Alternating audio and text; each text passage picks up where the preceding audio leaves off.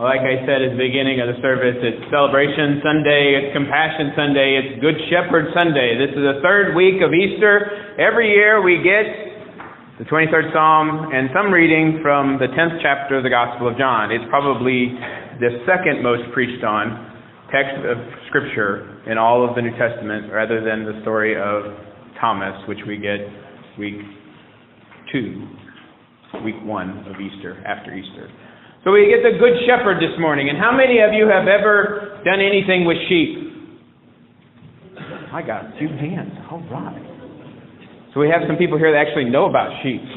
So you can correct me if I'm wrong on the stuff I'm going to tell you here in a few moments. Sheep are, um, I'm sure you've probably heard before, um, dumb animals. Do you feel good now that you've been referred to by Jesus as a sheep? But we're all in this together, right? We're all sheep. And we could go through the 23rd Psalm line by line. I actually have a wonderful book on my shelf. It's about 100 pages long, and it goes through the, gospel, the 23rd Psalm line by line. It's the 23rd Psalm from a shepherd's point of view. A shepherd actually talks about what the 23rd Psalm means and what it talks about, what it looks at. How the Lord makes me lie down in green pastures and leads me beside still water. You know, if a sheep has a choice, it'll drink stagnant, muddy water rather than a moving stream. And in order for a sheep to be able to lie down, it has to be without any agitation whatsoever. It has to be completely calm and completely still. Which sounds pretty much easy, right? Except you have to remember um, bugs like little gnats and stuff that fly around their faces, which is a little bit later there where it says, He anoints my head with oil. When the shepherd would douse their heads with oil to keep bugs away, because if a sheep had bugs flying around it and up and in its nose, it would actually beat its head against a rock or a tree until it killed itself trying to get rid of bugs.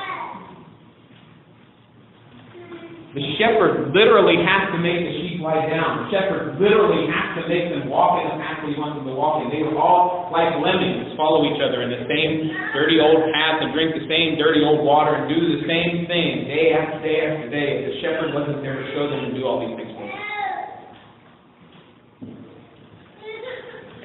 Sheep are not the brightest crayon in the bag. And that's what we are. But yet they do have one thing that they can do and that they do very well. The Gospel of John this morning tells us that they know me and I know them just as the Father knows me and, and, and I am known by the Father, right? They know my voice. My sheep know my voice. Right? In Jesus' day, the shepherds would have gathered out in open fields and places, and there would have been pens. And these pens basically would have been three sides with rocks on them with an opening going into it, like a valley, basically. And a little bit before this, in the, in the gospel, 10th chapter of the Gospel of John, it says, Jesus says, I am the gate. Right? People who come in the, the pen not through me are thieves and bandits, and they're coming in to steal the sheep, but I am the gate. Because, literally in Jesus' day, when they would get these sheep into this pen, this valley with only one way in and one way out, the shepherd would lay down in the opening, or would sit in the opening, or would stand in the opening. He would be the, literally, the gate to keep anything out and anything from coming in. And not one shepherd would put his sheep in this pen because there'd be many shepherds out in the fields, right? There might be multiple flocks of sheep in this one gathered valley. So when a shepherd goes in to get his sheep, do you think that he can tell by looking at them which ones are his if they're all dirty and nasty? Maybe. I don't know. I'm not a shepherd, so I can't answer that question. But when he goes in, the shepherd would do his call, and who would come? His sheep. Not anybody else's sheep, but his sheep would come because they heard the call of the person that they know takes care of them. They know his voice. So, one question for you this morning is when your shepherd calls you, do you hear him? Do you listen? The interesting part to me today, notice we're not going to answer that question. That's for you to contemplate. The interesting part to me this morning for this text is the line that I paused on. I have other sheep that are not part of this fold, and they must come along too. And they will hear my voice and know my voice. You know what this tells me? Gives me a very clear picture that God's not done yet. Because there are other sheep that aren't here yet. God's not done yet. God is still calling people from all walks of life, from all places in the world. And I absolutely know that that's true because Jesus said this 2,000 years ago. And if God still wasn't calling people, none of us would be here today. Right? Because somehow, some way, we got the call and we heard the call of the shepherd and was brought into the fold. We were made part of the flock. We listened and heard God calling us and we followed. God is still calling people from all walks of life, from every place on the planet, to bring them in. If it were not true, you and I would not be here. Secondly, God is still working in and through every last one of us. Do you know that every one of us has a call to ministry? Did you know that? Not just me, I have a fancy piece of paper hanging on the wall in there signed by Nelda that says that I have a call. It's signed by Nelda and our interim bishop at that point in time, saying that y'all have called me here to be your pastor. That each and every one of you received a call.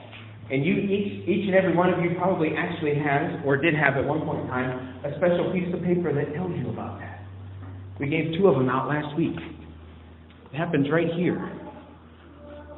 When God names you and claims you as His own child and calls you into the fold, He's given you a call to go into the world to do something for Him, to be a part of His mission and ministry, to be a part of His plan that no one else can fulfill. You have a call to share your love and life that God has given to you with everyone else around you. Now, does that mean you need to go out and talk about Jesus every day? No. You need to live your life in such a way that God shows forth through you. It's not us that lives, it's God that lives within us. It's the fact that they don't see me, right? The thing we say to the babies or the, the adults when we baptize them, let your light so shine before others so that they may see your good works and give glory to God in heaven. That they may see the good things that you're doing in the world, not because you want the recognition yourself, but because God Himself is getting the glory from the things that you're doing. And this fold is going to expand beyond all imagination. We can't even possibly imagine the people that are going to be brought into this fold by Jesus if we allow Him to use us and work through us. The 20 kids we saw this morning up here, the 20 kids that have cards out there on that table, all of them are people that are going to be brought into this fold because of things that people here do.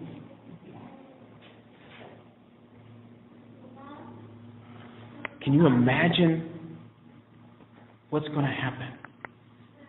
If we can simply open our lives up enough to God and allow Him to use us the way that He wants us to use us, to be His hands and feet in the world, to help Him in His mission that's not done yet. Because God is up to amazing and wonderful things. If we'll only listen for His voice and follow when He calls and allow Him to use us to show forth His great love and mercy to all this world.